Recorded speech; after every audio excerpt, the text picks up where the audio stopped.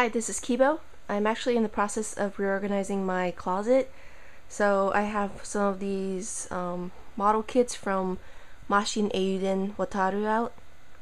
And since it's out, I decided to just go over them quickly. This one you've seen in one of my videos before, so I'm not going to go over it. That was world number one. This is world number two. Uh, again, it's five kits. And these are the kits. I'm not going to touch these until I perfect my um, airbrushing skills because these are now really rare and I love them so I don't want to mess it up. There's the third world. These are all by Takara and these are all re-releases in box sets.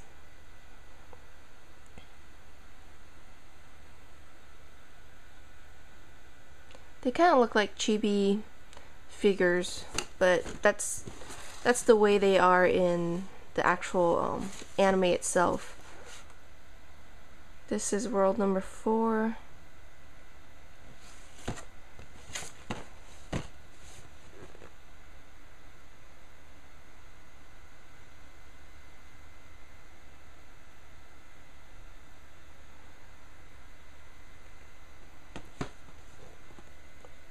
And as you'll notice, a lot of these actually becomes one huge monster.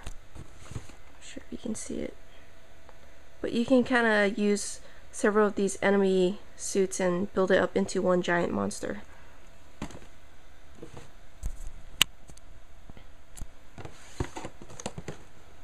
This one is the fifth world where you get the upgraded version of Ryujin Maru.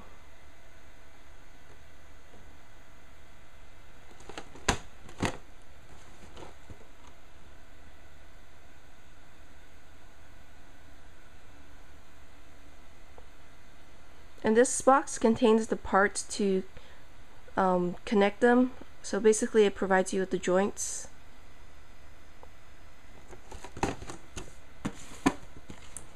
This is World 6. There's only four kits in here.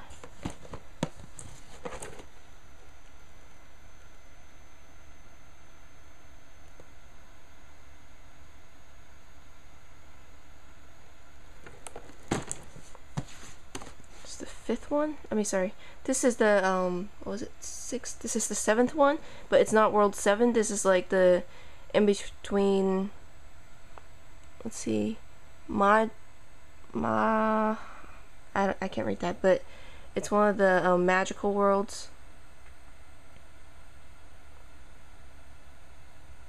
Mahan? Huh, I don't know. Again, it's just four kits. And this is the um, upgraded version of Sen... Upgraded version of the Senjin Maru.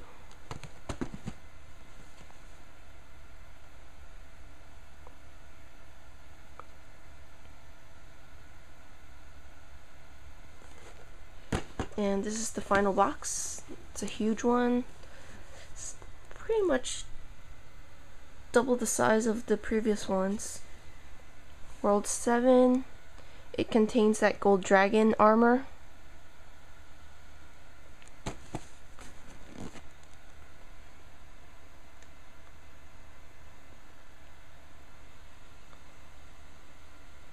So you can pretty much put these armors on the upgraded version of the kits.